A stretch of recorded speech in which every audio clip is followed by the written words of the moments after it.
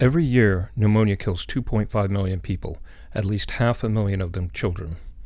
COVID 19 has already killed nearly 7 million people. A mechanical ventilator is an essential tool that is only one of many things needed for saving lives in some of these cases. Hi, my name is Robert L. Reed, founder of Public Invention, and I'd like to show you the Polyvent. The Polyvent is an open source research ventilator originally conceived in early 2020 in response to the COVID 19 pandemic. Among many other problems, the pandemic highlighted a shortage of medical ventilators, especially in the global south. While creating a fully FDA approved open source medical ventilator to address the shortage is our ultimate goal, we wish to get there by addressing other problems first. Before doctors and nurses can use ventilators to save lives, they must first be trained to do so. Because ventilators are so expensive, training is limited by how many spare ventilators are available. Polyvent addresses this problem simply by being 3 to 10 times more affordable than existing ventilators. Ventilators are also used in physiology research. Unlike currently available ventilators, Polyvent is built to be adaptable, extensible, modifiable, and repairable, and uses licenses which support this. This allows researchers to adapt Polyvent to the specific scenario or question they are investigating.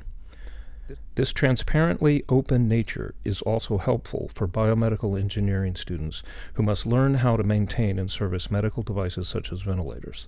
The simple open layout allows them to easily identify the different modules and their functions. To train their troubleshooting skills, intentional defects can be easily introduced.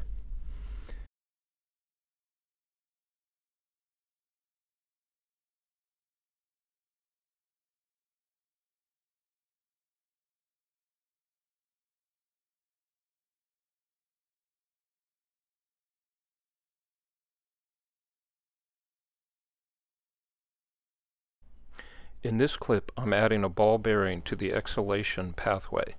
This creates one of the more difficult troubleshooting uh, exercises that we had the students perform. They have to look at the waveform produced by the rattling ball bearing and try to understand that there's an occlusion in the exhalation path. We have developed two three-hour classroom modules and are creating an ecosystem where educators can contribute and share their own. Following best practices established by the open source software movement, the Polyvent is very modular. It is more of a platform or cooperating ecosystem than a machine. In fact, it is instrumented with a spirometer, the Ventmon, which is usable on its own.